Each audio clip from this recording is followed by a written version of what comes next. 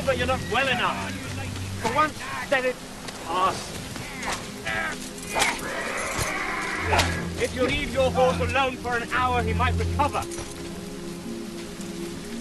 And who the hell are you?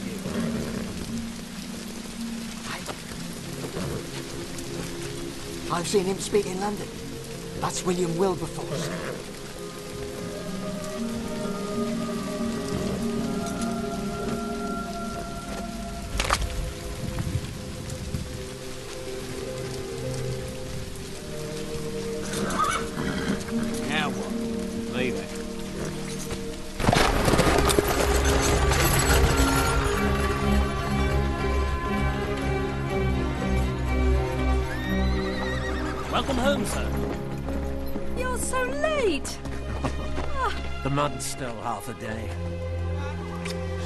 But Marianne, look, I have a surprise for you. I hope a pleasant one. Wilbur. Wilbur, is that you? Oh, it is. Half of me. My idiotic body's playing games with me again. I promised we'd make him well. You must come and eat something. Uh, breakfast, perhaps.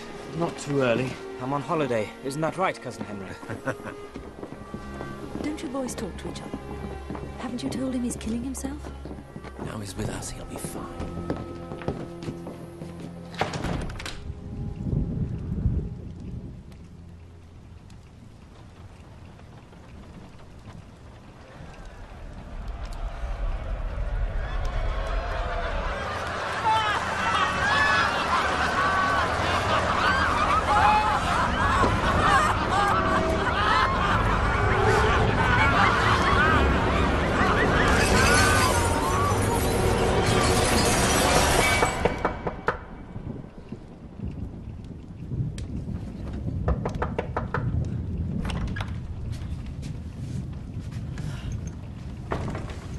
What time is it? This is your 3 a.m. does. So, cousin, you're waking me up to give me medicine to help me sleep. Ah. Now you're taking on the medical profession as well as everyone else.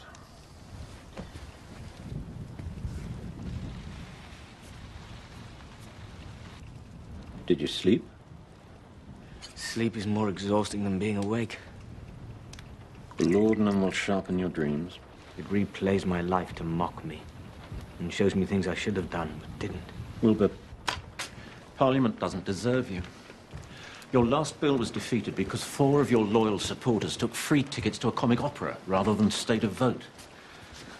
In my dreams, I turned over their tables.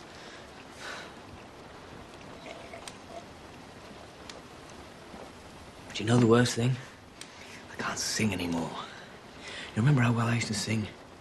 Marianne and I will find a way to restore your voice.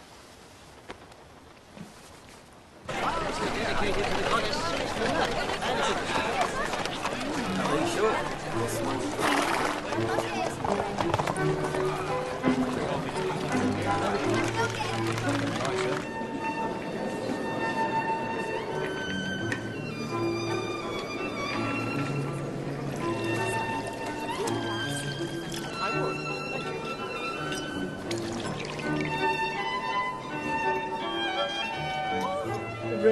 believed this water would restore the dead to life. Most pump water I've investigated works in the opposite direction. So, what was so urgent? Did I say it was urgent? Marianne, are you expecting someone else?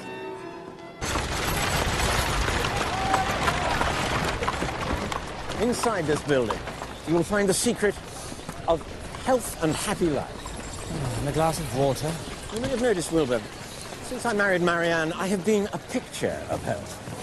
Very happy for you. It is, uh, it is almost a scientific fact. Marriage and health are twins, inseparable. Single men wither away and die in rooms that smell of feet and armpits. Henry, what are you babbling on about?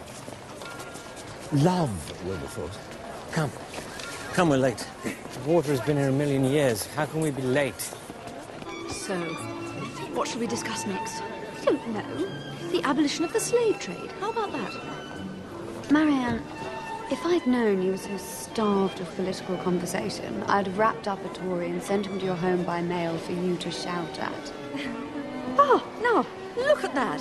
Here we are in the middle of discussing the abolition of the slave trade, and in walks my husband with William Wilberforce himself, the most committed abolitionist in England, and also, of course, most unmarried. Oh, ah, look over there. It's Marianne. And who's the charming-looking woman with her? Marianne's here. Never mind about her. Look at the woman she's with. Barbara Spooner. Very committed to very many good causes. And also entirely unmarried. Marianne,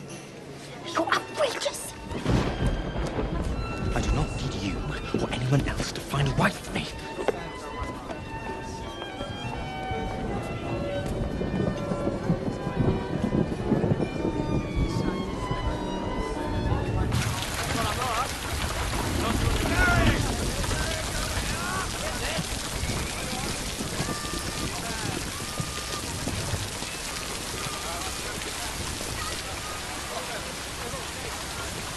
I'll never forgive him. I'll never forgive her. However, Mr. Wilberforce, if we had met in other circumstances, I would have told you how deeply I admire your tireless efforts to force our ridiculous parliament to abolish the slave trade. Well, if you had, I would have changed the subject and talked about botany. Botany? Why botany? Anything but politics. I'm in Bath to be cured of politics. Well, I would have been bored by botany. So, even in other circumstances, it would have been a disaster. Good day to you.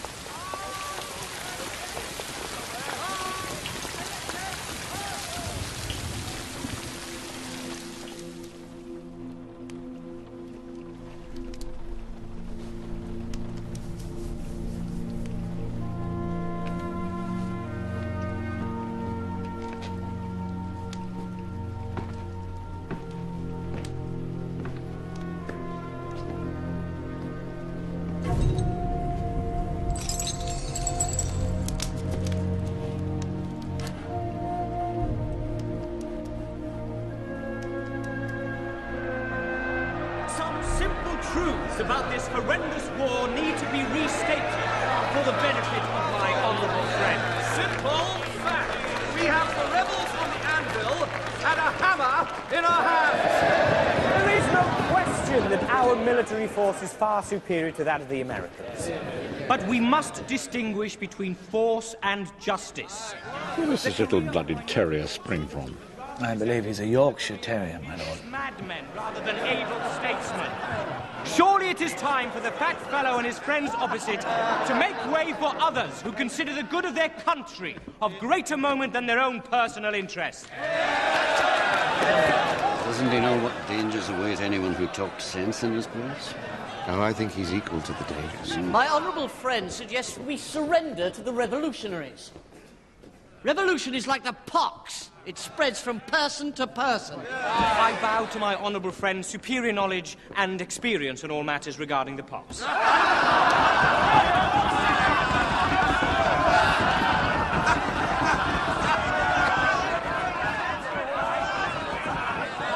Why would we withdraw from America when half of the Americans are loyal to the crown? Less than one in four Americans are loyal. If he called that half, I'd hate to be his wife and share half his bed. Mr. Foreign Secretary. Perhaps my honourable and young friend should explain to the House the difference between appeasement and surrender.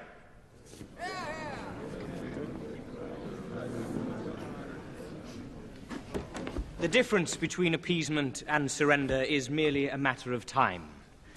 And perhaps 10,000 more young lives wasted for no reason.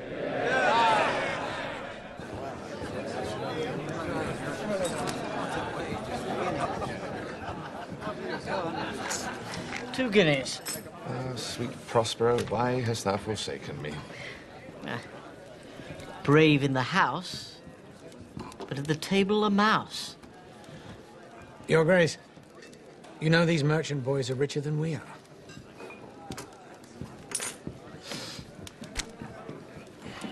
Ah, I have ten guineas left. So ten it is. In or out, Wilberforce?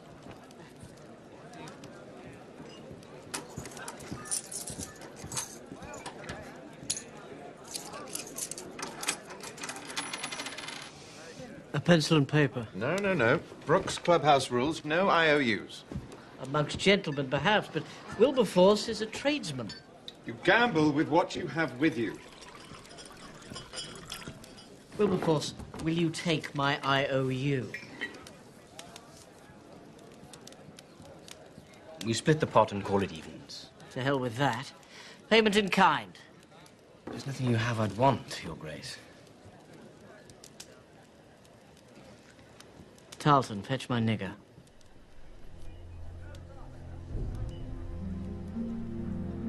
My coach driver. Go and wake him up and bring him in now.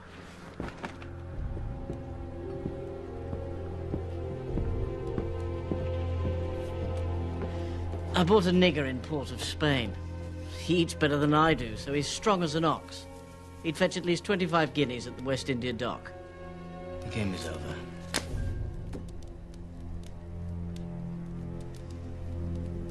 What's wrong, Wilberforce? If I hadn't brought the boy to London, he'd have been worked to death in a sugarcane field by now. I saved his miserable life. There. I raised the stakes.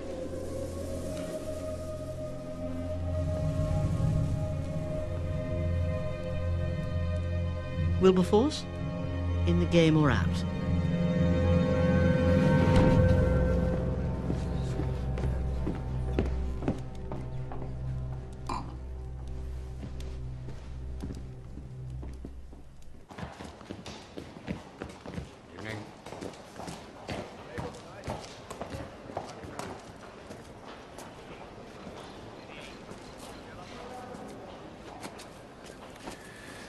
Act as if you'd never seen slavery before. For me, it's like arsenic. Each new tiny dose doubles the effect.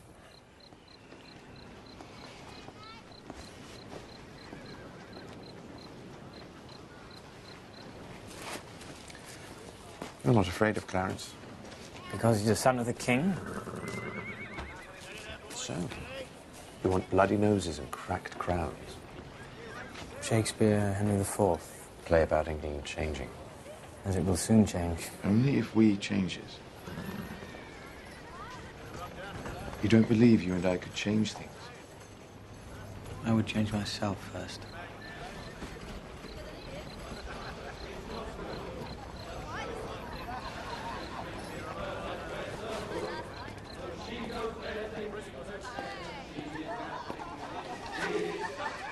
Do you remember Billy at Cambridge? I had a reputation as something of a singer. I do remember. So I think I'm going to go and sing them a song.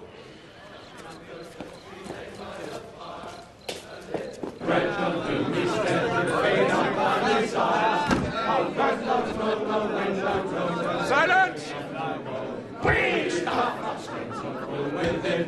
Silence!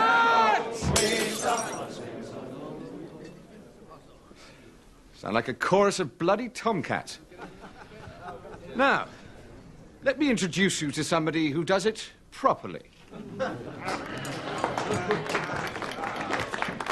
I would like to dedicate this song to my honourable friend, His Grace the Duke of Clarence. It was written by my old preacher. He was captain of a slave ship for 20 years. He repented his sins, and then he wrote this song. Amazing grace, how Times sweet are hard for the merchant. Sings the archbishop. How sweet the sound my saved a wretch like me. I once was lost, but now.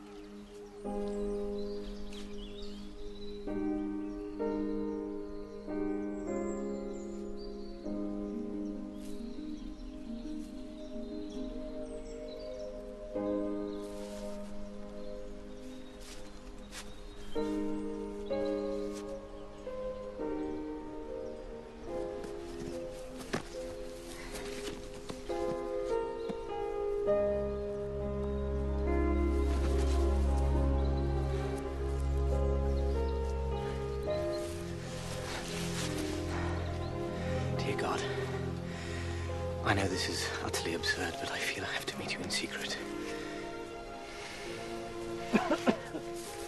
Sorry to interrupt, sir. There's a beggar at the kitchen door. Uh, I would turn him away, sir, but you insisted I always check. Just give him breakfast. Very good, sir.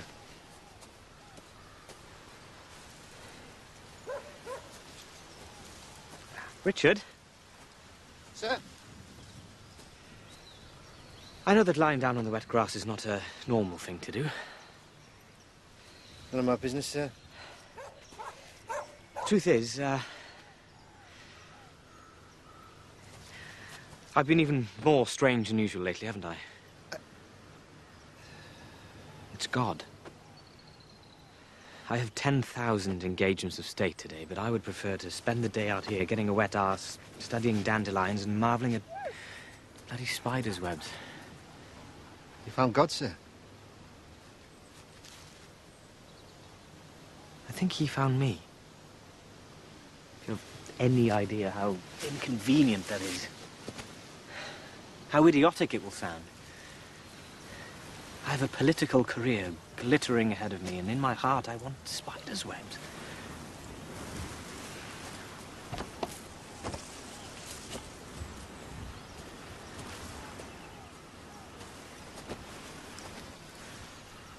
It is a sad fate for a man to die too well known to everybody else and still unknown to himself.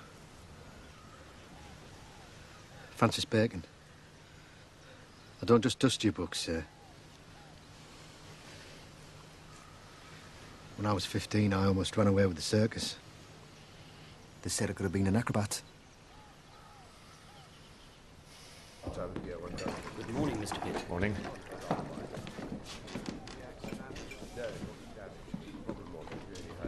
Excuse me, sir.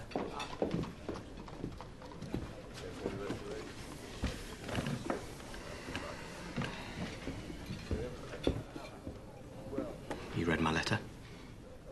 The man who wrote that letter was not you. It was written by some wild preacher man that has gotten into your head. No.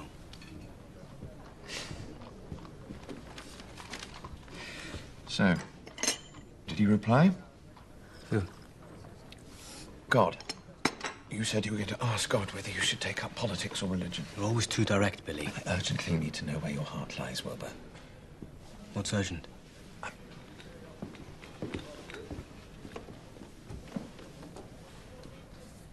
I'm planning to become Prime Minister. Someday. No, I mean soon. Very soon. Thanks to your performances in the House, Fox and North will have no choice but to resign. When they do, Lord Rockingham will become Prime Minister. Lord Rockingham's health is not good. When he dies, I will make my move. You've worked it all out. I want you beside me, Wilbur, all the way. You read my letter, but you've not taken in a word of it. I would have you in my government in whichever capacity you choose. Billy, no one of our age has ever taken power. Which is why we're too young to realize that certain things are impossible. So we will do them anyway. I need an answer, Wilbur. Do you intend to use your beautiful voice to praise the Lord? Or change the world. Oh. I can't. You take care of them. Any more. Patrick. Marjorie, Mr. Wilberforce on his way down.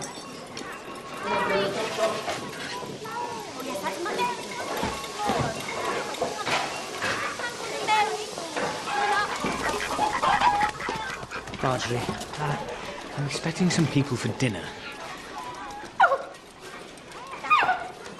Marjorie? Marjorie!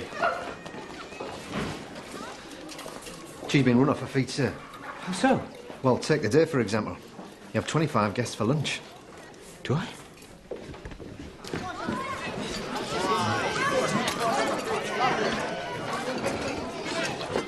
If you remember, you decided to reward various volunteers who worked for some quite precariously financed charities. Some brought deserving children from the poorhouse, others brought less deserving relatives. Well, we should get some sort of... Diary, sir. Yes. Or more cooks.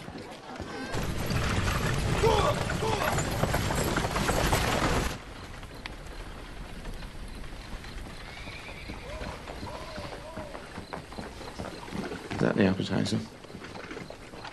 No, that's His Grace the Duke of Clarence. Wilberforce, the Reverend John Ramsey. Reverend? Edward Hope. And Michael Shaw. Both friends. This is Olaudah Equiano. Equiano? Please. You've travelled far to be here?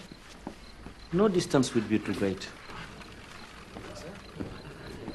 And this is Hannah More.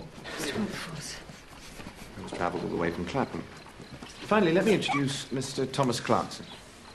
Beautiful house. Sweet little rabbit. It's a hare, actually. Ah. Please. So come on. Who are they? Why don't you ask them?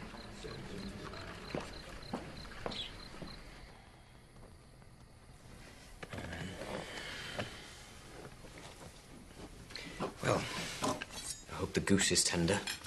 She was rather old. I find the older I get, the more tender I become.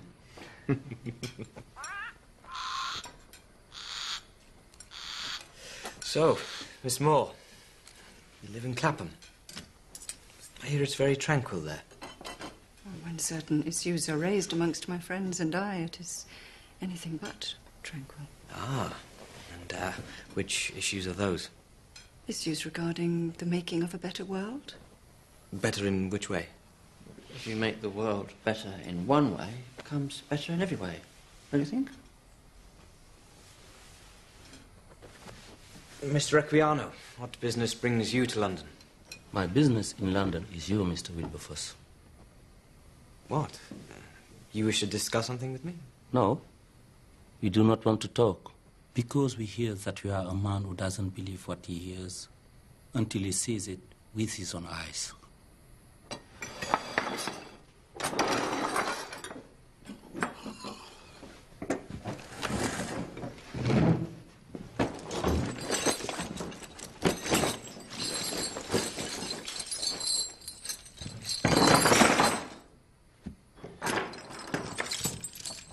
These are for the legs.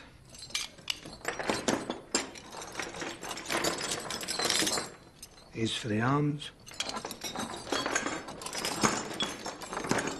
This is for the neck. Works like so.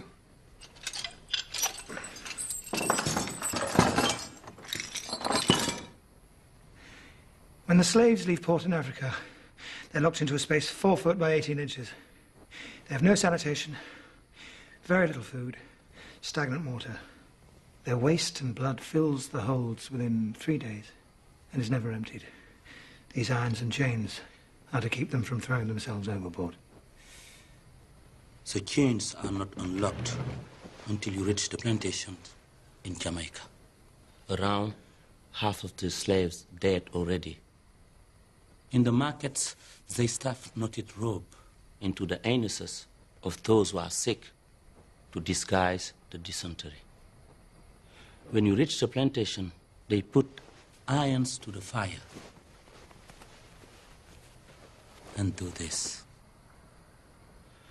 to let you know that you no longer belong to God, but to a man. Mr. Wilberforce, we understand you're having problems choosing whether to do the work of God or the work of a political activist. We humbly suggest that you can do both.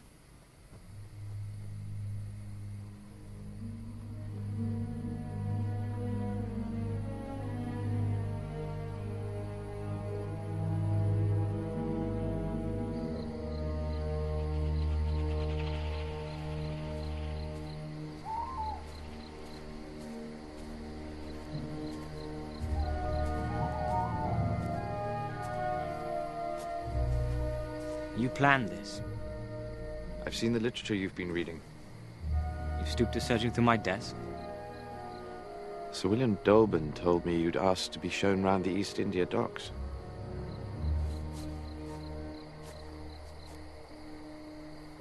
So, you would use my private concerns for your own political ends. Yes, exactly that.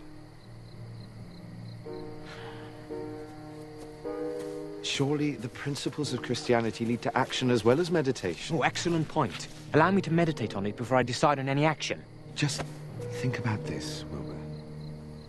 The slave trade has 300 MPs in its pocket.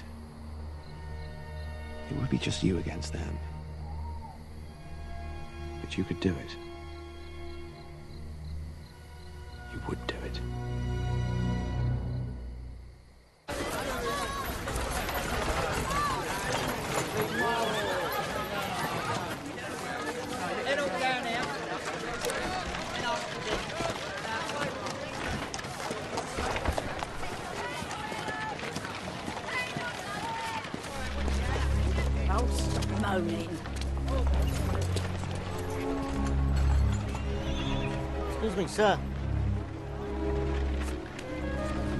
Do you have a penny for a boy that went to fight the Yanks and came back half a man?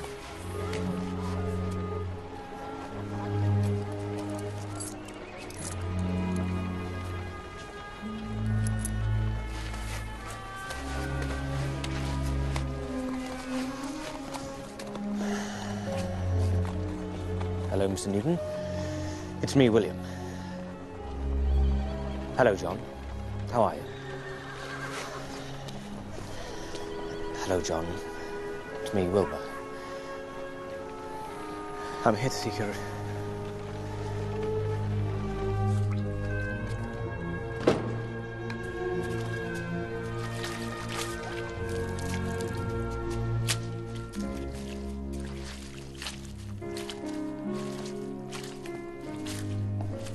The beggar at the door assures me that I'm now old enough to call you John.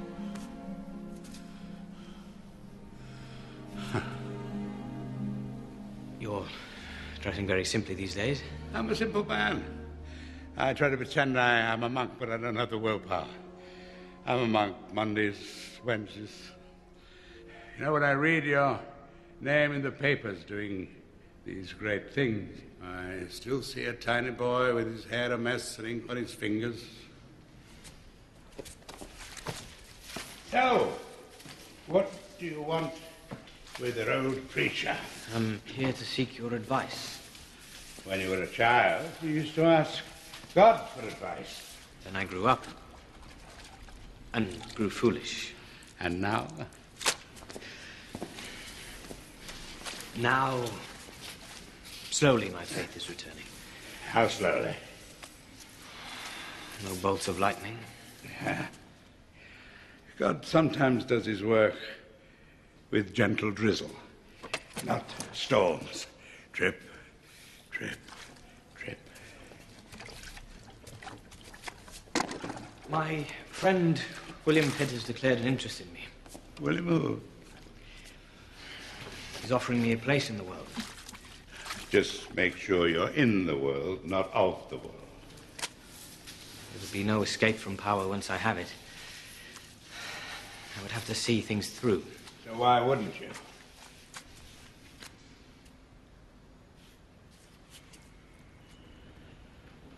Are you contemplating a life of solitude? Wilbur, you have work to do. Besides, people like you too much to let you live a life of solitude. Haven't you chosen solitude? You, of all people, should know I can never be alone. There now. Now, now what? The other reason I came. You told me that you live in the company of 20,000 ghosts. The ghosts of slaves. I was explaining to a child why a grown man cowers in a dark corner.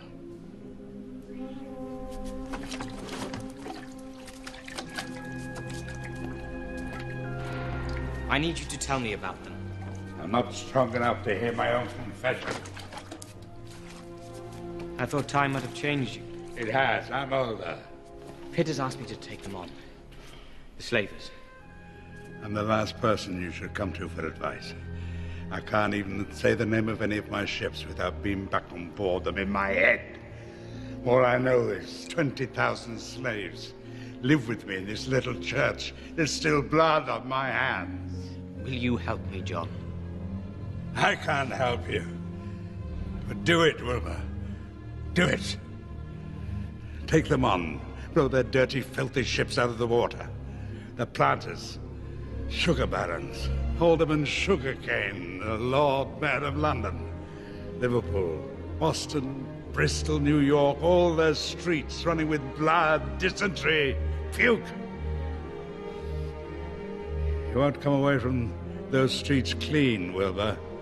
You'll get filthy with it, you'll dream it, see it in broad daylight. But do it. For God's sake.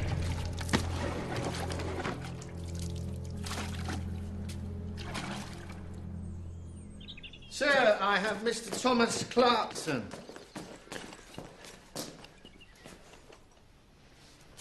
Forgive me, Mr. Wilberforce was here a moment ago. I'd better go and find him. Mm.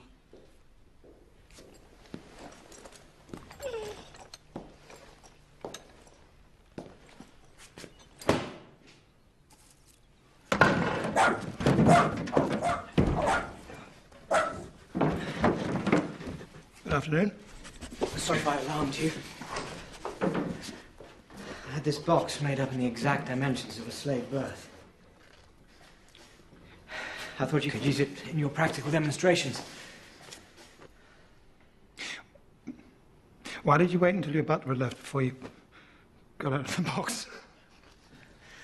They all think I'm mad already. As will most people in the House of Commons. When I present my bill.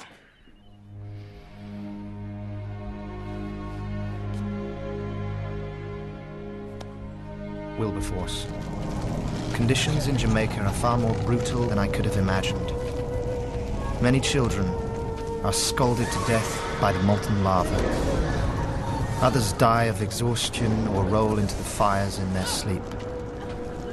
The result in the morning is a few pounds of pure, refined sugar. Wilberforce, are you all right?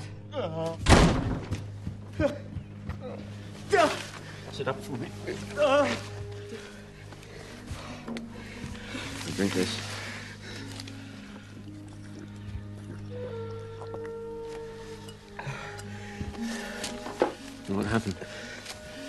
read James's letter from Jamaica. When I fell asleep, it was as if I were living inside it. Perhaps the laudanum the doctor gave you is badly mixed. I know the effects of opium, Henry. This isn't the medication. What then? I was chosen for this task and I failed. Some part of me does not accept the idea that I've given up. I'll dilute this. Can you dilute what I feel? You've given your youth and your health for this cause. It's time to let someone else try.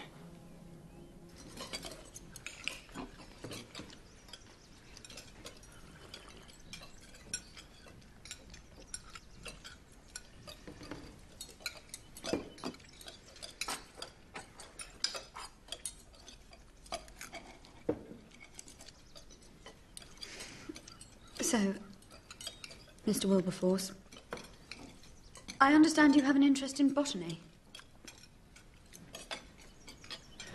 Botany, Miss Spooner?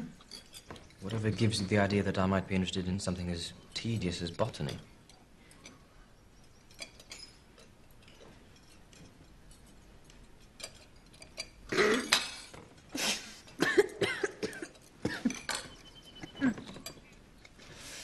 Sorry. It's a private joke.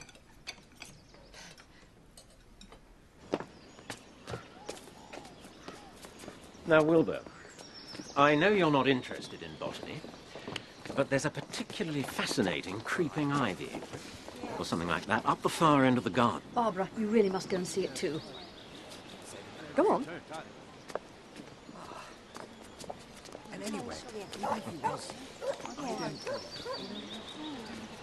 To irritate them, let's pretend to argue. What about? Something we disagree on. Think of something. The war with France. I think we should settle with Napoleon right now. So do I. Schools. I'm a member of your movement for free education. I agreed with every word you said on the Dales factory debate. You read every word? No. Neither did I. Gin. Replace it in the cities with beer. Absolutely. Well, I'm definitely alone in my opinions about the treatment of animals. No. I joined your society for the prevention of cruelty. Well, I'm extreme. I have a pet fox, a pet rat, and a crow that can't fly. I used to have a pet hare, but it died of kindness. America. we must reassess the power of the collective political process. Agreed. Oh, and of course, we are agreed on slavery. I'm against flowers in church. What do you say to that? I am for them. As am I.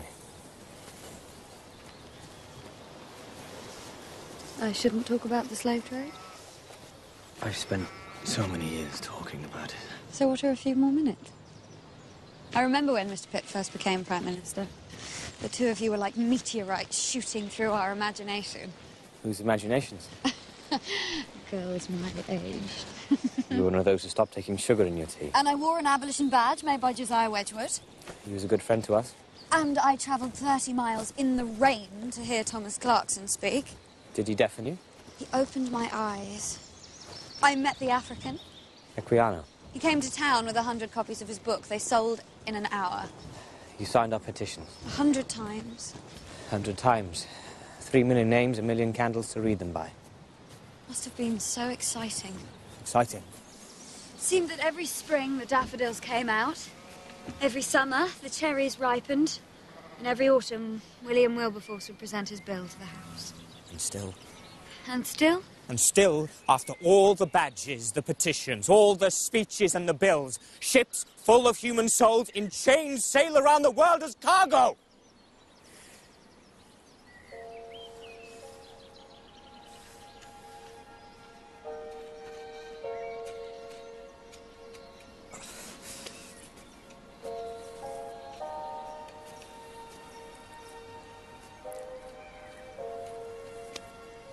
Sorry.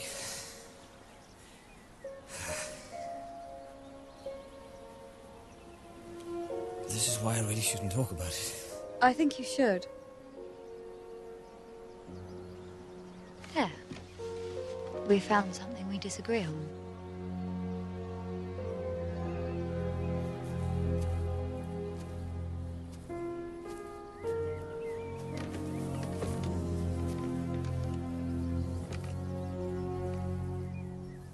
Am I not a man whose soul is drawn to heaven like water from the dark well of Africa? From Equiano's book. He was a man like no other. Please, tell me about it. It seems to me that if there is a bad taste in your mouth, you spit it out.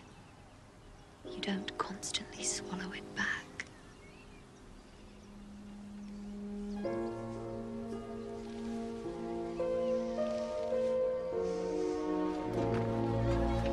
Not long after I first met him, he asked me to come to the East India Dock. He said there was a ship I should see. A ship he knew well.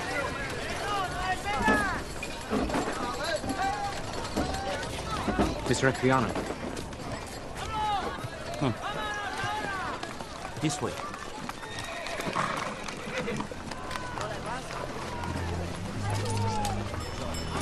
Thank you, sir.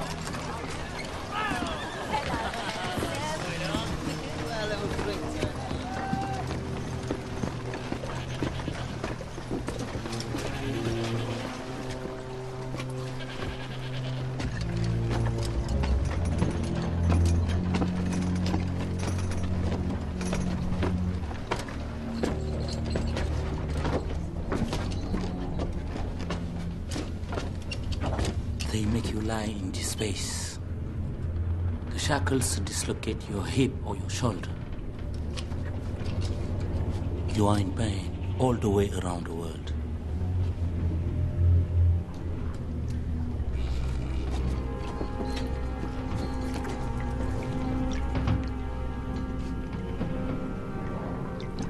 How long is the journey?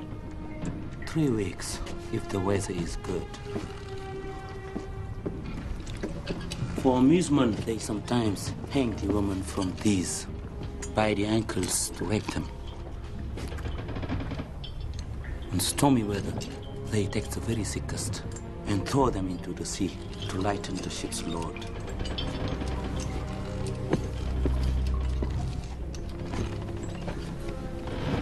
How did you survive? Your life is a thread.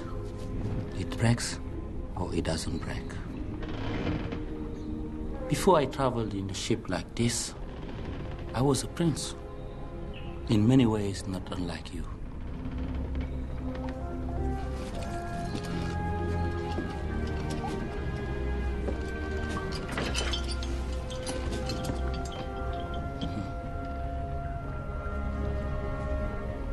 It was a beautiful day like no other, the last day I saw my home in Africa.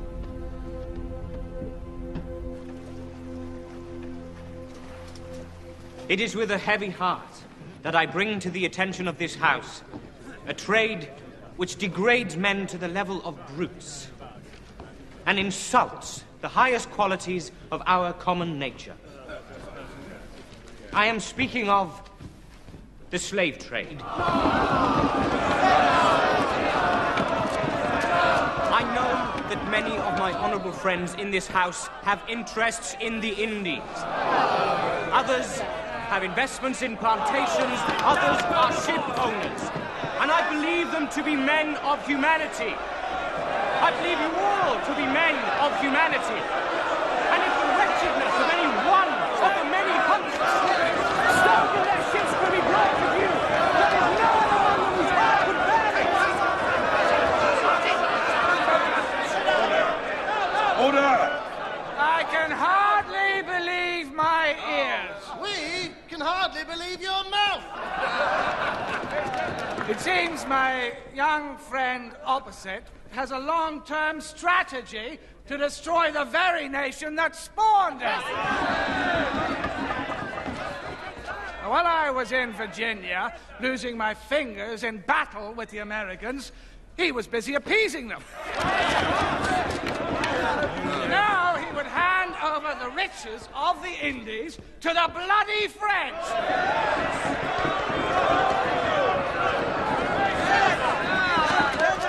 If, if we didn't have slaves, there would be no plantations. Right? With no plantations, how would we fill the coffers of the king? Now, does my honorable friend really believe that if we left off the trade, the French wouldn't immediately step into our place and reap the rewards?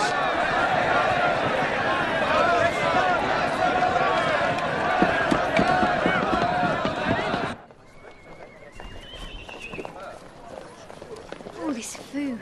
There's only a handful of people in there. He's an optimist. Bloody incurable. Our defeat in the House today was not unexpected. But our intention was to flush out the opposition and discover how many people in the house would support us. Yes, well, we certainly found out who our friends are. Almost 16 of them. I, uh, I sent a note of thanks to everyone who voted for us. Oh, sweet of you. Some of us know how to take defeat graciously. It's only with breeding, is it? On this occasion, it probably is, yes. Gentlemen, everything that is said at this meeting is being taken down for our records. My good friend James Stephen has agreed to be our secretary. You were saying, gentlemen? As you can see, not many MPs have responded to our invitation. Indeed, outside my own family, there is only one, Sir William Dolben. Sir William, what brings you to this gathering? I recently took passage from Sierra Leone aboard a slave ship. And what I saw during those 15 days. But I, I believe there are plenty of others in the House of Commons who share your feelings, Wilberforce. They're just afraid to show it. Shame on them! No shame. No shame. Well, I'm the representative of a port city. How could I tell those whom I represent that I'm voting to end their livelihood? Exactly so. Can human beings become? Can human beings become us? Exactly this pursuit of lofty... There is nothing lofty about simple humanity. This pursuit of lofty... Please!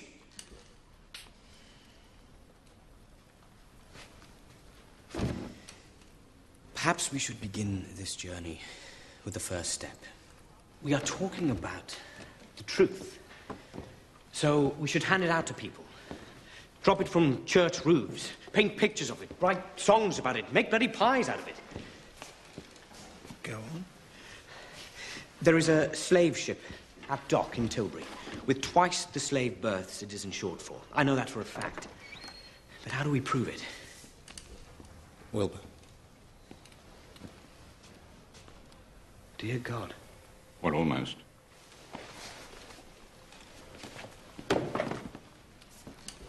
I spent 18 months being torn apart by you in the house, Mr. Wilberforce. I thought I'd find out what it feels like to be on your side. I see you've got plenty of food. Any of you saints drink?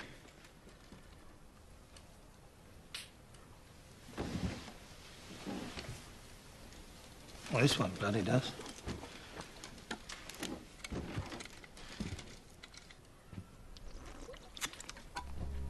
Thank you very much.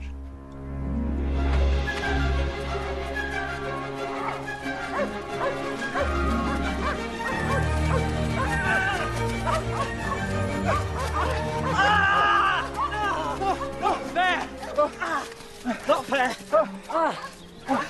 I'm not well. My belly. What's, what's wrong with your belly? Oh. Besides, you're Prime Minister. It is my ministerial duty to let you in. So, what do we do with Fox? Put him in a box. Uh, let him throw the heavy rocks. Provide the shocks. Put Lord Tarleton in the stocks. Oh. Oh, if the House of Lords could hear the idiotic way we carry on. They'd ban anyone under the age of 30 from holding high office ever again. Well, at least with Fox on board, the world will know we mean business. Now, the world doesn't know yet. Nor will it. Not until we're ready. You were born for this, Wilbur. Sometimes I get giddy. Why is it you only feel the thorns in your feet when you stop running? Oh. Is that some sort of heavy-handed metaphorical advice for me, Mr. Pitt? Yes, I suppose it is. We must keep going. Keep going fast. would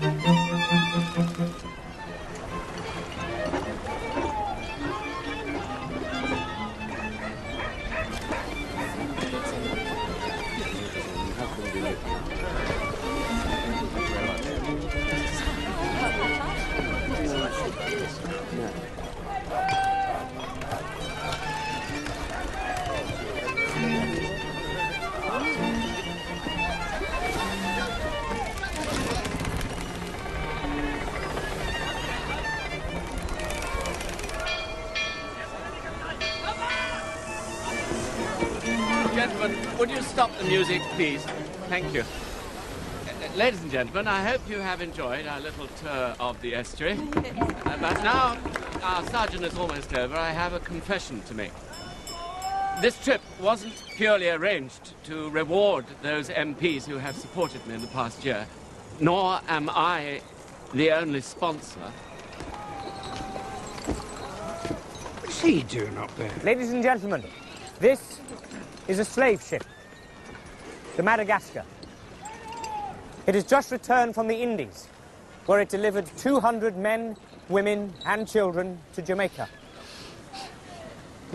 When it left Africa, there were 600 on board.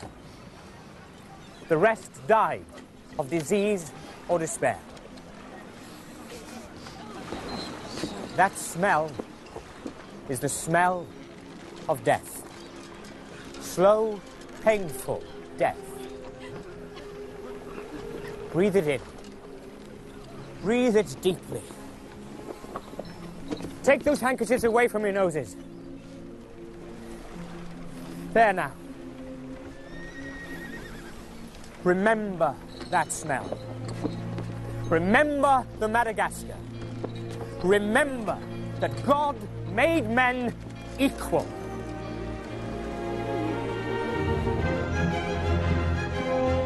All that winter, we spread out across the country gathering evidence for Parliament.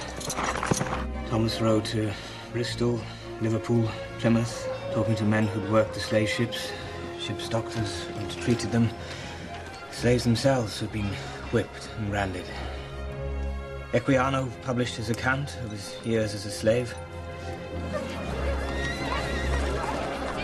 He sold 50,000 copies in two months.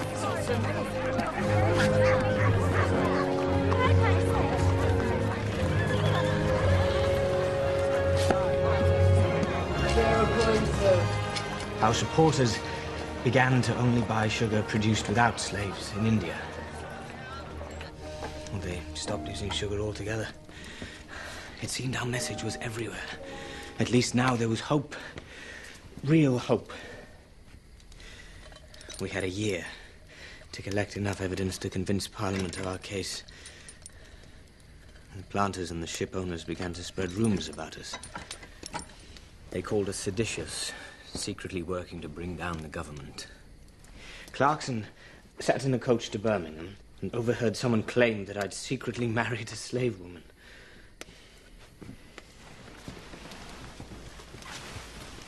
Oh, but the weight of our hope made it all seem like glorious infamy.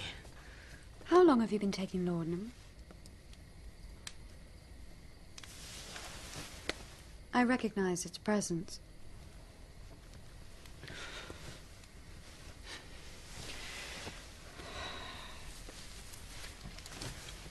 My illness and my crusade were born around the same time. What is your illness? The doctors tell me it's called colitis. They don't really understand it, but I do. You see, sometimes my stomach gets bored of being a stomach and decides it's a sailing ship. Then my heart gets jealous and decides it wants to be a seesaw. then before you know it, my lungs are arguing with one another whether to be lungs or sponges full of seawater. well, at least that's what I tell my nieces and nephews. Marianne tells me you like children. My poor father almost went mad when I told him I'd stop taking sugar in my tea. I was 14. Reading your name in the papers, willing you to win. I told my friends there was actual slave blood in every lump of sugar.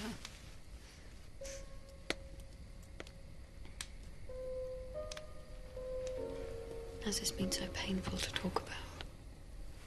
It's only painful to talk about because we haven't changed anything. But unlike the slaves, I have opium for my pain. Begging your pardon, sir.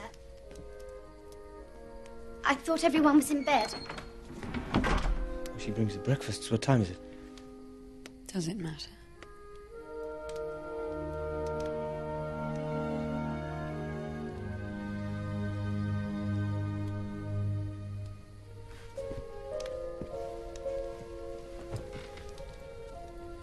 That year we should have won.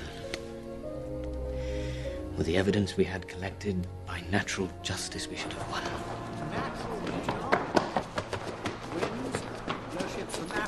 To the Indies naturally, as if the route were blessed by God.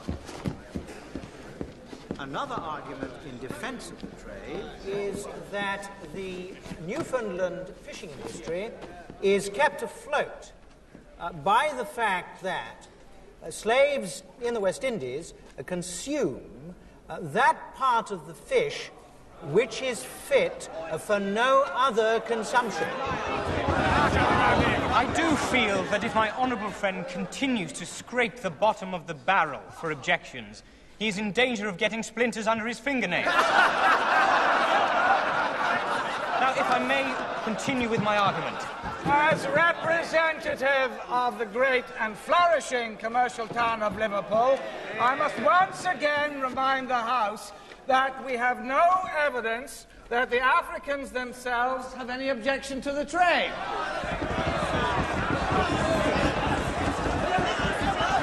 I have here an account written by uh, Mr. Clutterbuck, which states that most slaves in the Indies have a snug little garden with plenty of pigs and poultry. There are many poor families in Liverpool who do not have as much. Which, which is why, apart from a few mendicant physicians and itinerant clergymen, the ordinary people of Britain are not at all exercised by the whole issue of slavery.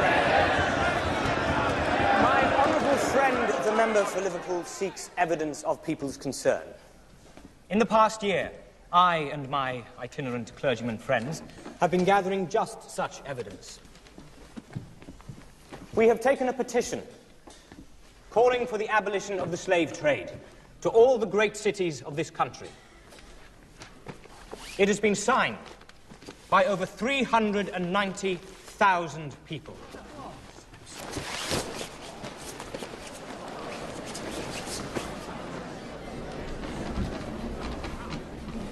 However, this petition is not yet complete. There is one more person who wishes to add his name.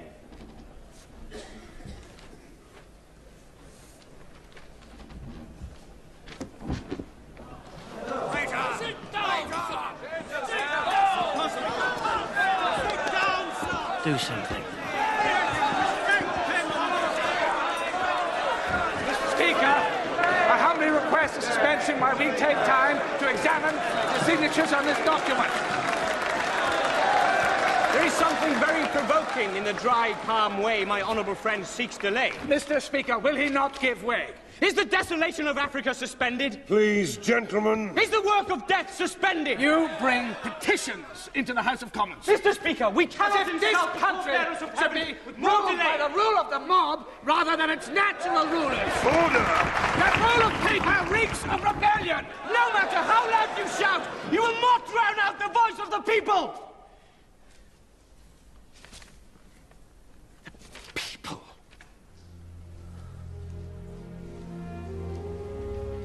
This session will be suspended while the petition is examined.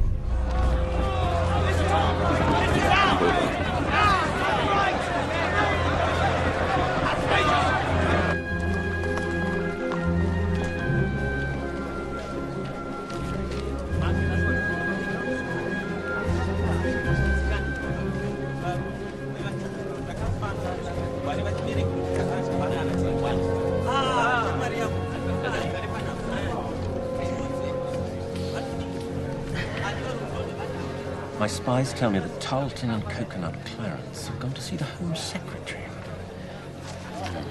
What would they want with Lord Dundas? He's one of us, isn't he? Hmm. James? James? Where does Lord Dundas stand? Probable, I think. We have him down as a probable. Last year, he stopped the deportation of a Jamaican slave from Scotland, so his heart's in the right place. Be wary of Dundas. If he's capable of compassion once, why not twice?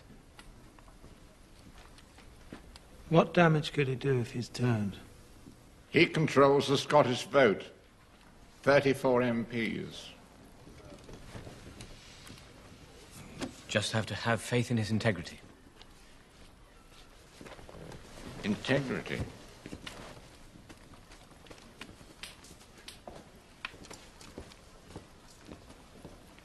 Where are you going? To look up the word integrity in Dr. Johnson's dictionary. Come. Prime Minister Lord Charles Fox to see you.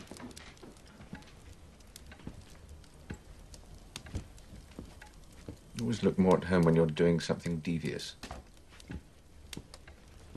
Prime Minister, your friend Wilberforce doesn't play cards anymore. No, he resigned from all five card clubs when he saw the light. Pity he was good. Well, I think there's a hand you should play for him. Against whom? Someone who stands in his way. So name him.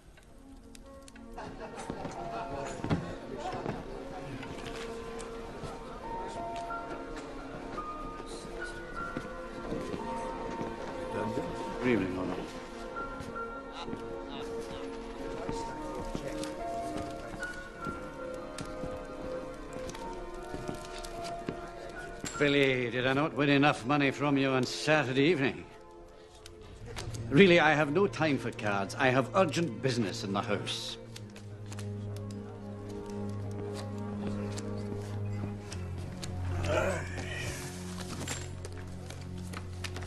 As Prime Minister, idle gossip collects around you like scum in slack water. What have you heard? Lord Tarleton's throwing East India Company money at people who are speaking against abolition tonight. Of course, no true friend of mine would accept such an offer. I appear to have three jacks. I've always ensured that you have been dealt a favourable hand. You're threatening me. You are threatening our friendship. It isn't money that has made me decide to oppose Wilberforce. His enemy is my enemy. Billy, you are sleepwalking hand in hand with a bloody rebel. Wilberforce follows no leader but the preacher in his head.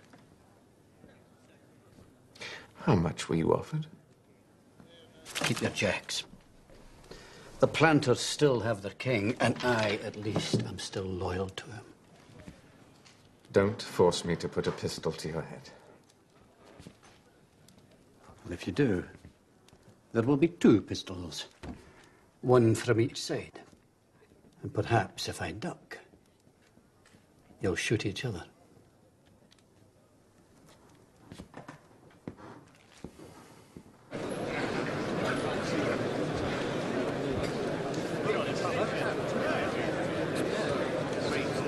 Order! Order! First, let me be clear. After long consideration and much consultation, I am in favour of the abolition of the slave trade. There's no doubt in my mind that this trade in human beings is an almighty calumny and is a disgrace to this nation. However,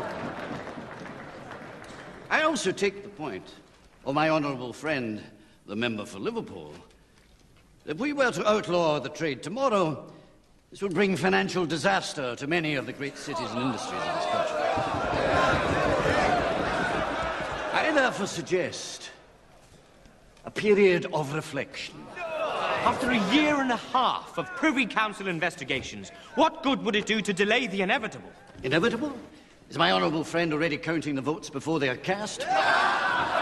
Didn't mean that. If the trade were to be abolished, I suggest that we do so gradually. Violent storms sink ships. This great ship of state must not be sunk by a wave of good intention.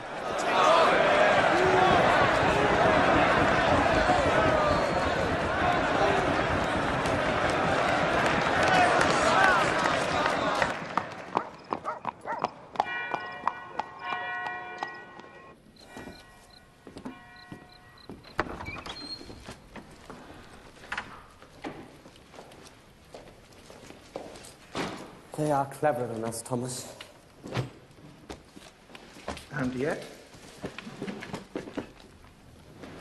outside the House of Commons, the mood is with us. What good is that? I have friends in France. Our counterparts. The men of principle, like you and I. They bring me only good news. News of what? Revolution. They're certain it's coming. In Paris, they speak openly in the streets of emancipation, freedom for all men and women too. The Americans pulled the cork out of the bottle, Wilberforce. Now the French share the wine. You talk about revolution as if it were a safe thing. It's just a word. Every day we change things by degrees. Education, factories. By degrees. You sound like Dundas. Gradually. An imperfect order is better than no order at all. No, we must fight for a perfect order. I've pledged an allegiance to the king. You know as well as I do. The king is insane. He shakes hands with oak trees and claims he can see Germany through his telescope.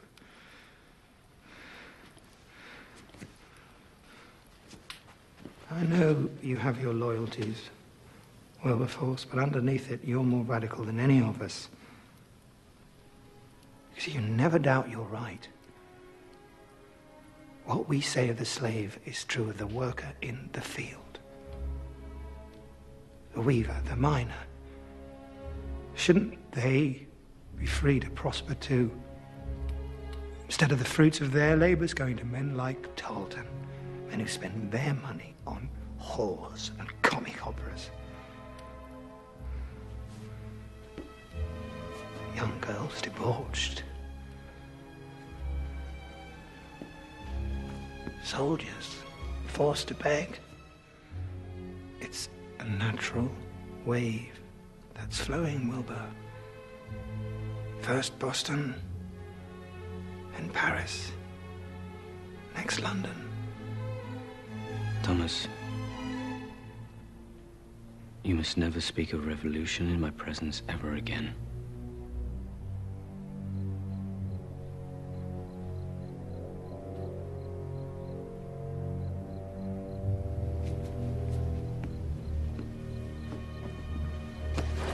I'm going to Paris see for myself.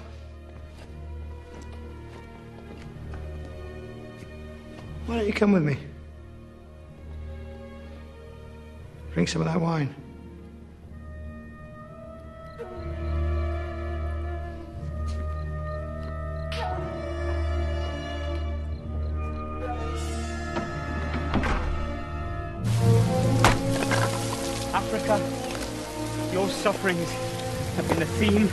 That has engaged and arrested my heart. Your sufferings, no tongue can express, no language impart. Ah!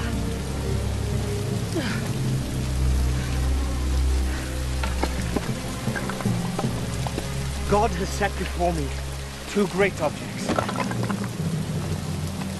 The suppression of the slave trade and the reformation of society. Ah!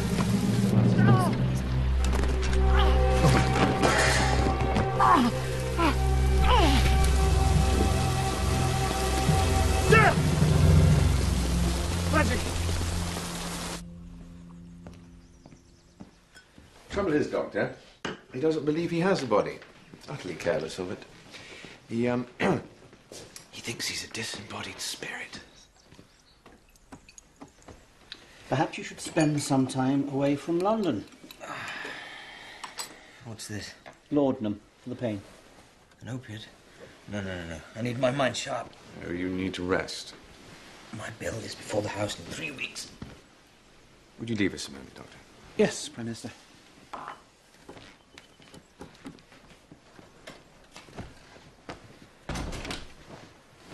It's now five years since you first brought this bill to the House. And each time we get a little closer. Wilberforce, there are other MPs who could carry the debate. Who? Name one. The only man I would trust is you.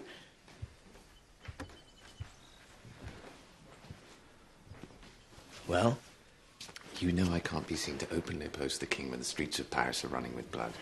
You've read too many lurid newspaper articles. The French Republic plans to declare war within the year. On who? On who? You're locked inside your own head, man. On us, on Great Britain, on everything we stand for. Considering the situation, you mix with the wrong people.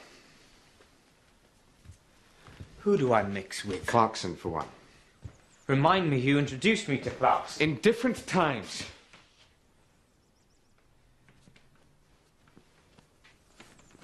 They say in the cafes that Clarkson's a French spy. And Equiano.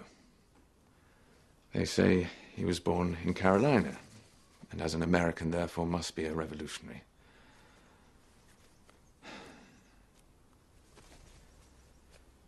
Others say they have seen with their own eyes letters addressed to you from Thomas Jefferson. On matters to do with abolition. War changes everything. Even friendship? Yes, especially those. So you will keep your precious conscience intact and let the rest of us do the war's dirty work. Conscience is indeed precious. I am warning you, as your Prime Minister, that when war comes, opposition will soon be called sedition. By who? By you?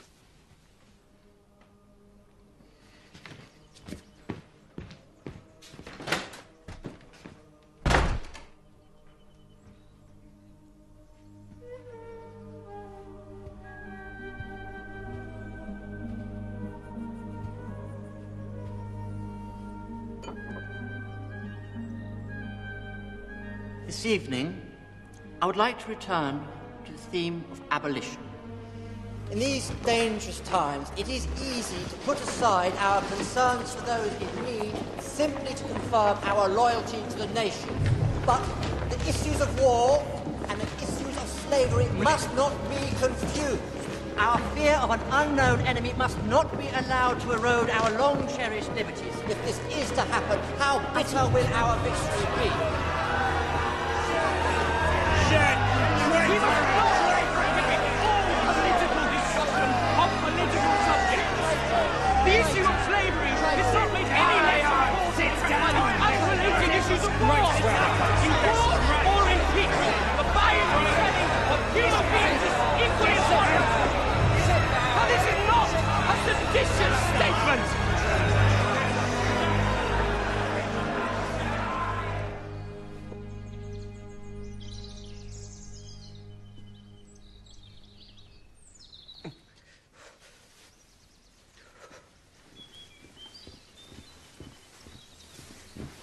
There is your Lord laudanum. I'll prepare it for you. No. No, I want to tell you how it ends. I already know. Your bills were easily defeated. Equiano died in his bed. Thomas Clarkson found a cottage in the hills to hide away in.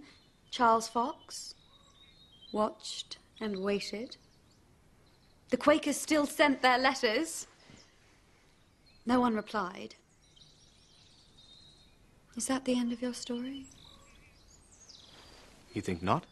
No, Why not? because after night comes day. The people aren't so afraid now the war with France is being won. And when they stop being afraid, they rediscover their compassion. So the people have their compassion back. And you still have passion. That matters more.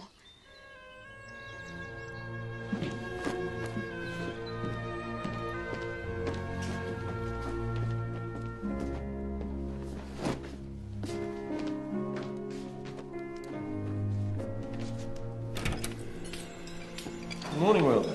Morning. Get much sleep? Not much. What time did Barbara leave? Late. I mean, early.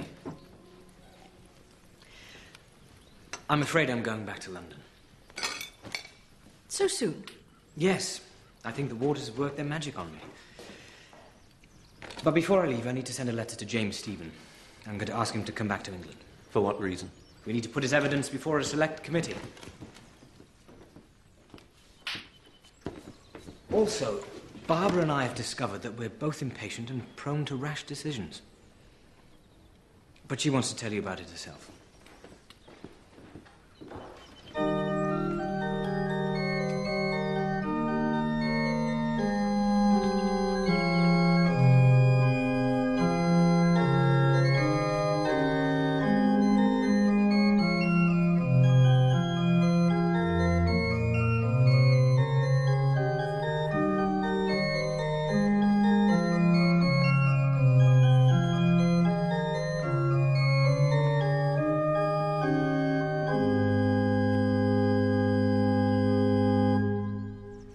Ladies and gentlemen, before we begin, we will sing the hymn requested by the bride.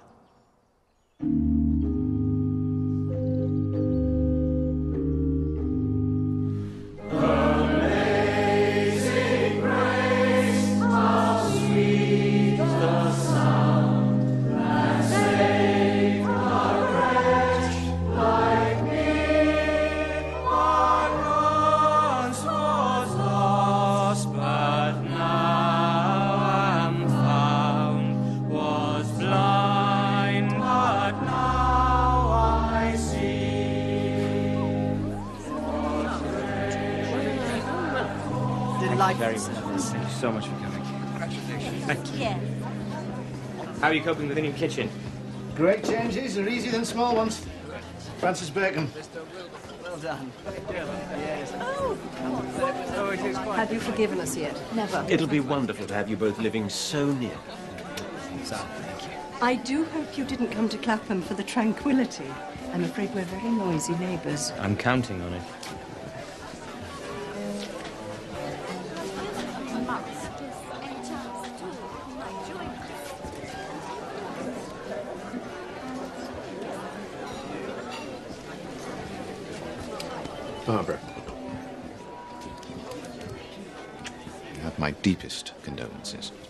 So much. But please, I beg of you, do this for me.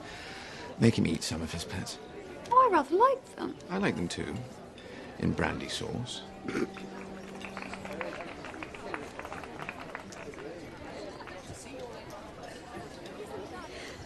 Well, if you gentlemen will excuse There's me. There's no need, Barbara. You're discussing politics with your eyes. You may as well do it with your mouths.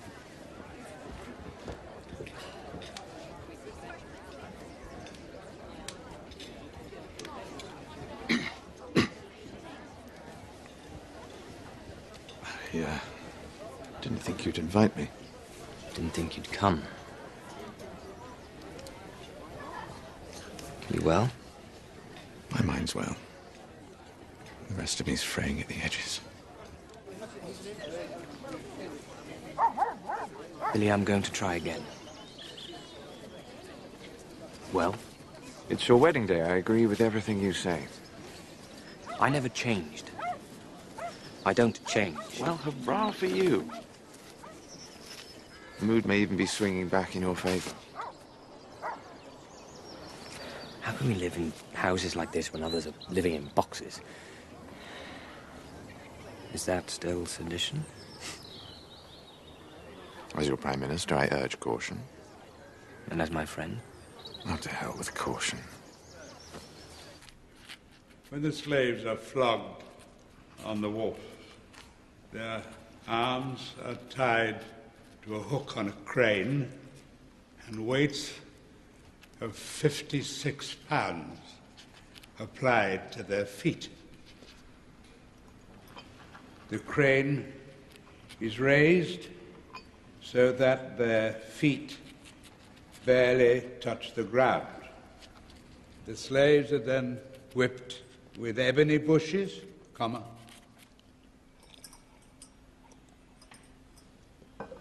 to let out the congealing blood.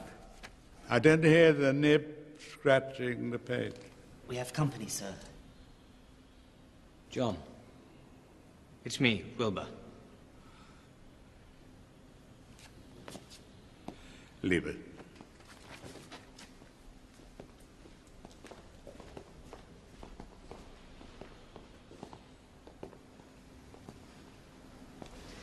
They only told me your sight was fading. Well, now it's faded altogether. I never did things by halves. God decided I'd seen enough. So it's true. What's true? Writing your account. Uh-huh. I wish I could see your face. How are you looking? Same.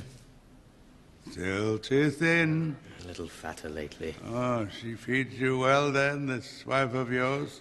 She's given me an appetite. Uh, an appetite to change things?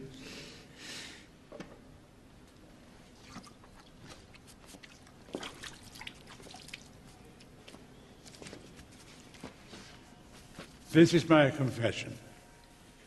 You must use it. Names, ship's records, ports, people, everything I remember is in here. Although my memory is fading, I remember two things very clearly. I'm a great sinner and Christ is a great Savior. You must publish it. Blow a hole in their boat with it. Damn them with it. I wish I could remember all their names. My 20,000 ghosts. They all have names. Beautiful African names. We call them with just grunts, noises. We were apes. They were human.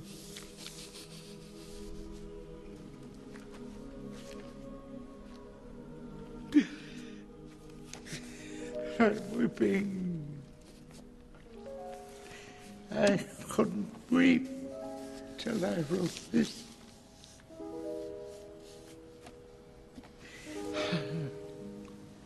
I once was blind, but now I see. Didn't I write that too? Yes, you did. Well, now at last it's true. Now go, we'll go. We've lots of work to do, you and I.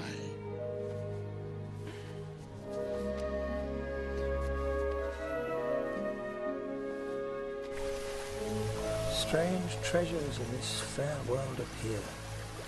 Strange, all and new to me. That is a poem by Thomas Traherne, and I have absolutely no idea what it's about. But when I was small, I was made to learn it by heart, so I don't see why I shouldn't suffer too. Clarkson! Clarkson! Good God, he's got his voice back. We need you back in London straight away! Oh. Rolex.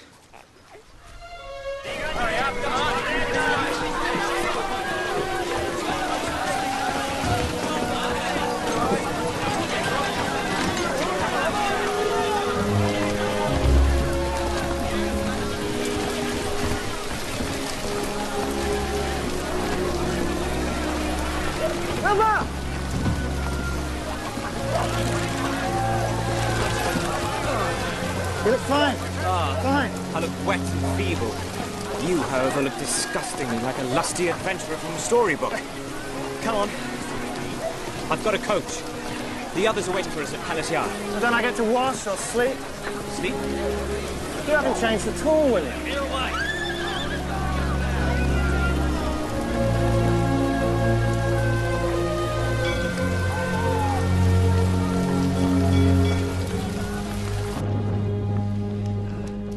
I call this meeting to welcome back our good friend James Stephen from the Indies, but uh, he should speak for himself. I have here diagrams, first-hand accounts, and transcripts of trials where innocent Africans have been convicted of crimes they did not commit and were then burnt alive.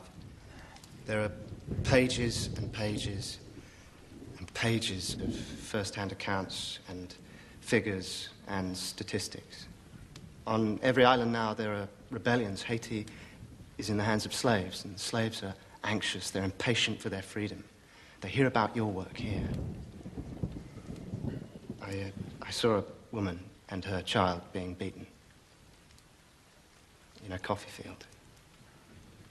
And afterwards, I heard the woman tell her daughter that someone was coming across the sea to save them. She said it was King Wilberforce.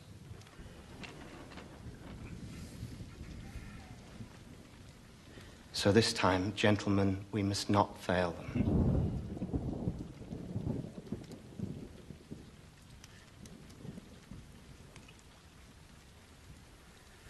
What is it, James? This is not a game for them. We know that. What I mean is, it's not enough.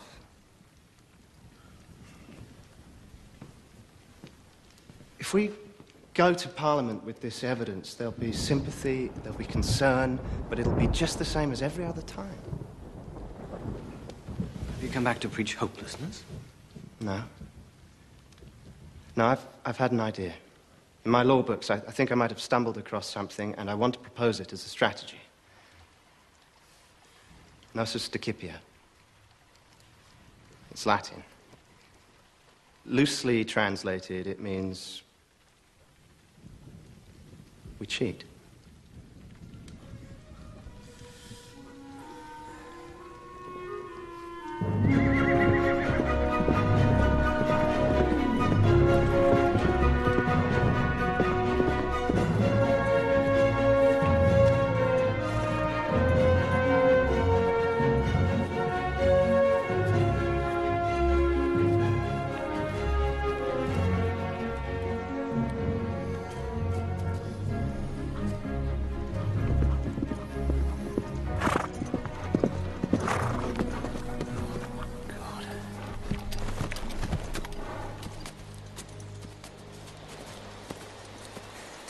Don't care how important this is.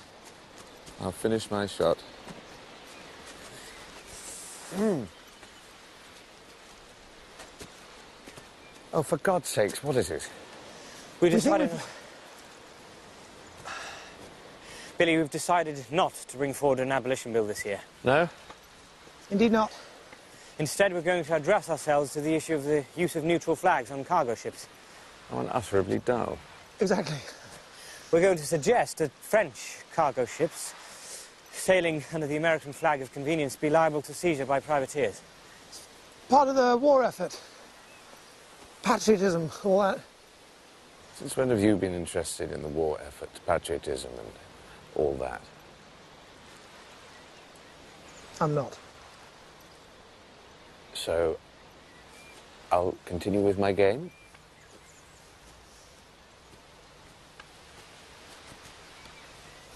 You don't see anything sinister in that measure.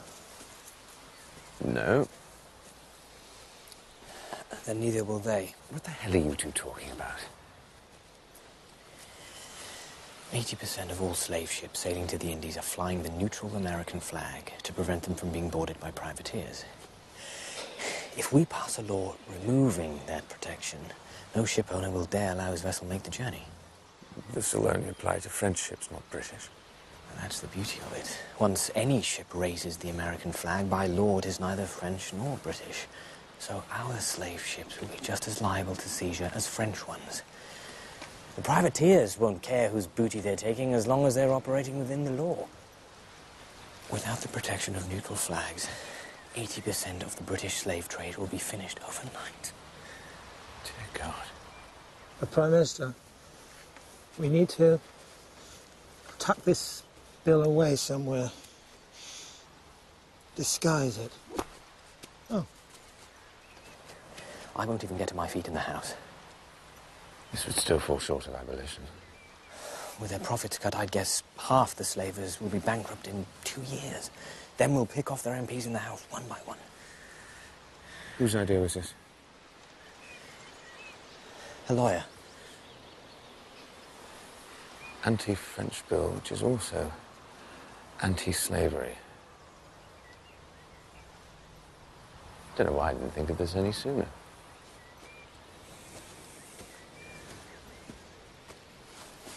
Oh, but we can't let anyone know that we're behind this. We need you to instruct someone to put this bill forward who's seen as a patriot. We don't want any fuss. We just need someone really, really boring.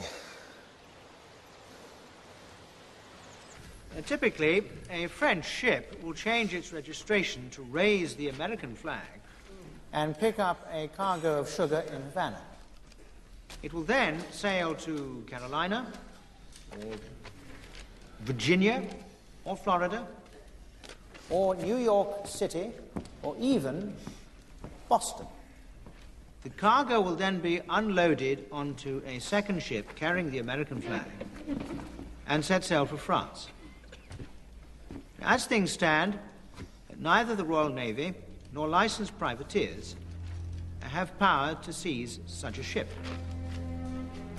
My proposition is that all ships flying the American flag be liable to search and seizure to put an end to this lamentable deceit on the part of the French and their Dutch and Spanish allies. Mr. Speaker, I do believe the abolitionists are coming at us at a side wind.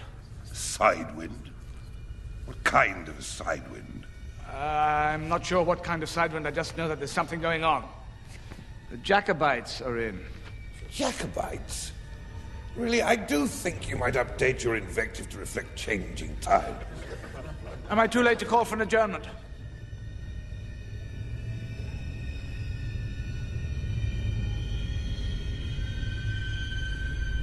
Of course you are. Now, will you let the honourable gentleman proceed? As I was saying, my proposition is that uh, all ships flying the American flag uh, be liable to search and seizure, put an end to this lamentable deceit on the part of the French and their Dutch and Spanish.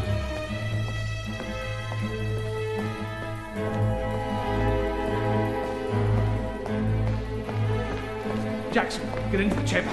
Right. Camber, chamber, move your ass. What's going on? Just do it!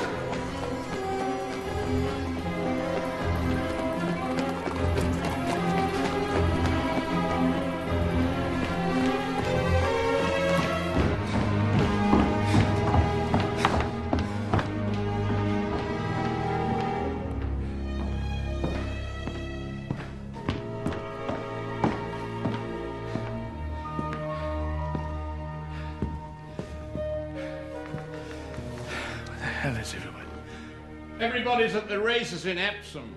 They were given free tickets. I saved one for you. A free gift from William Wilberforce.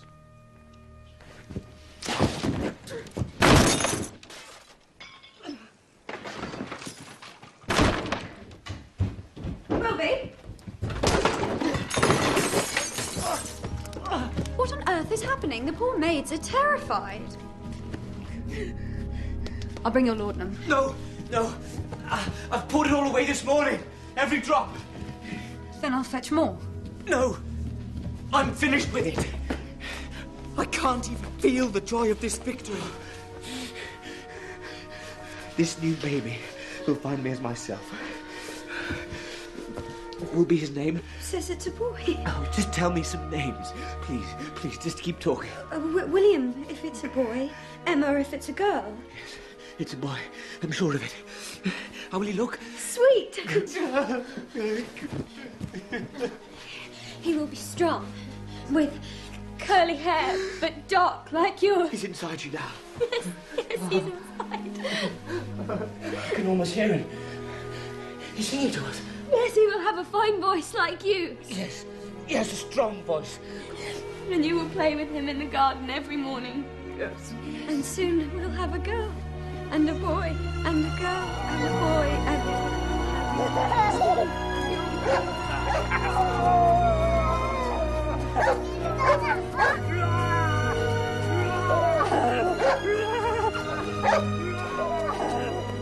Wilby!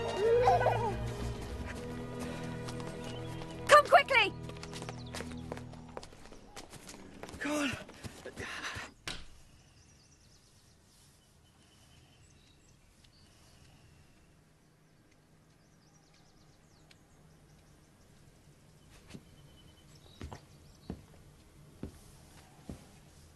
Please leave us now.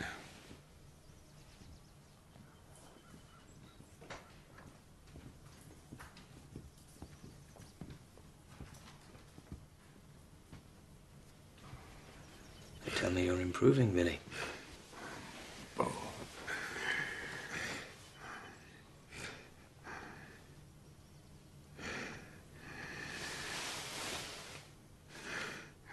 We cracked crowns, didn't we? We left the heads intact. Because we're so pathetically English. we have agreed on a succession. You're not gone yet. I will be replaced by Lord Grenville as Prime Minister. And the Foreign Secretary will be Charles Fox. And Wilbur. Fox has already secured a guarantee from the palace. They will remain neutral on the issue of the slave trade. Next time, you will be pushing at an open door.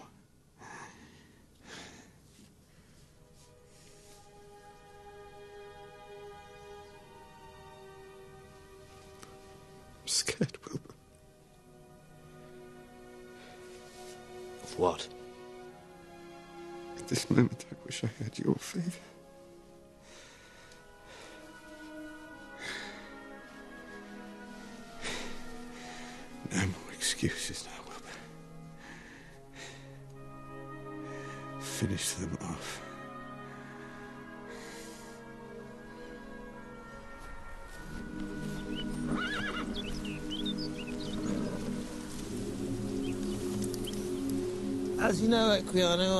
Drink. But today's an exception. Today we're drinking to victory.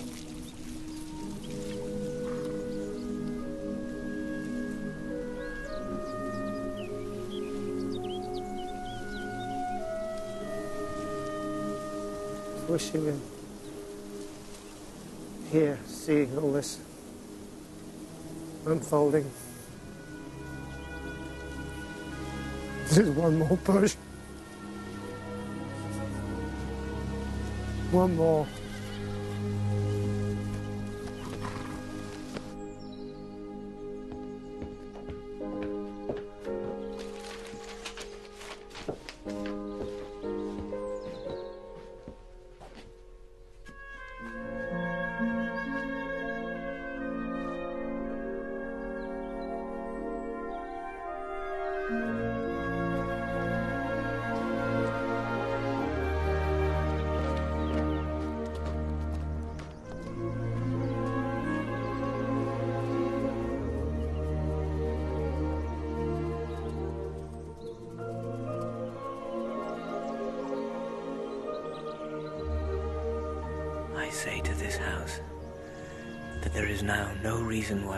Should not be commended to the king. And I urge my honourable friends to vote once and for all for the abolition of the slave trade throughout His Majesty's empire. They're taking the vote.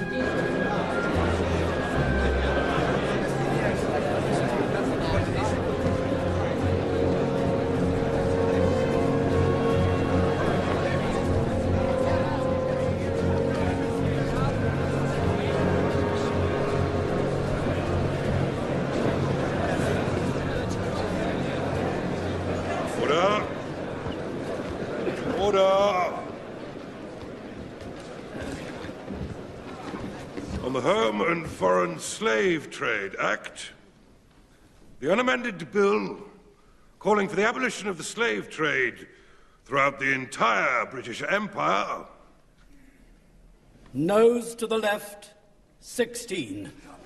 Ayes to the right, 283.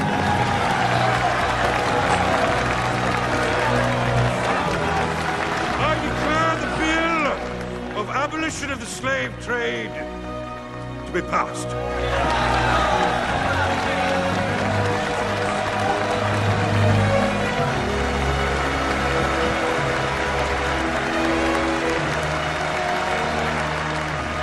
Noblesse oblige. What the bloody hell does that mean? It Means my nobility obliges me to recognize the virtue of an exceptional commoner.